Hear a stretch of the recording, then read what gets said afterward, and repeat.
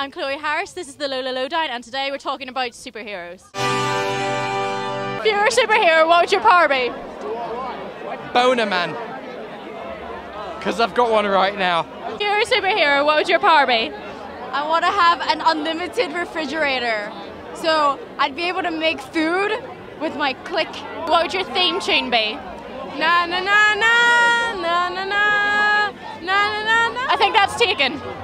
What? But that's the best one ever. I'd wake up and have lemon meringue pie with a macaroon and a hot chocolate. Could you please show us your best kick-ass superhero move?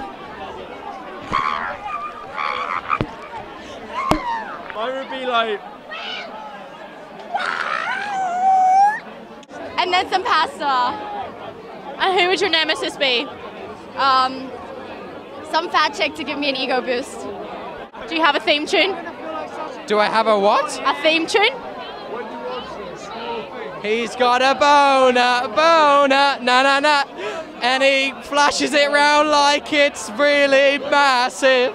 I would say, hey, what a wonderful kind of day. And we should learn and work and play and get along with each other. Allah! That wasn't attractive, I'm sorry. Would be able to get naked at any point. if Teen Wolf and David Cameron had a love child and they went back in time to stop the Second World War, how would he go about doing it? That's one to think about. What do you do for Batman? For Batman, everything.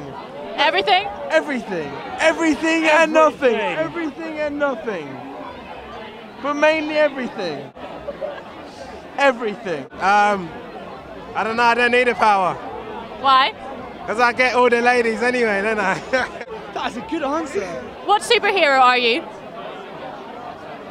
I'm not a superhero. Superhero power, what would it be? Um, X-ray. He already has it. And then He an already X-ray there. Be able to go on a date with a girl. Let me speak. I would actually, I would, act- Charming. I would actually choose to have the power to end world You have a six-pack. because I'm a, I'm a really serious sort of person. You don't want the six pack. No, that is so like shallow. You're just an awful person. If you were a superhero, what would your power be? My car. Super games. Why? Because he's the superest gay ever. I'm a super homosexual. Your power. My car. Your power. My Pa- Your superhero power. Oh, power! Yeah. If you were a superhero, what would your name be? Um, uh, creamy, creamy. Pandas. Um, I like uh, six formers. If you could have any superhero superpower in the world, what would it be? It would be to just be really invisible like just walk around. What would you do? I like just walk around.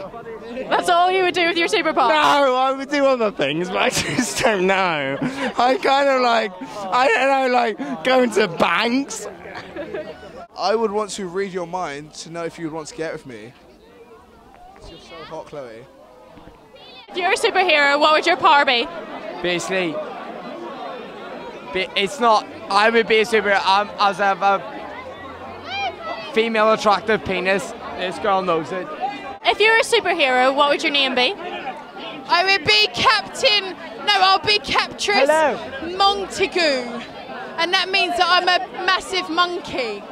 I think mine would be um, mine would be like to lay eggs because I'm a chicken, and like, and then I'd give them to Africa so they could eat eggs. So basically, I'm saving the world.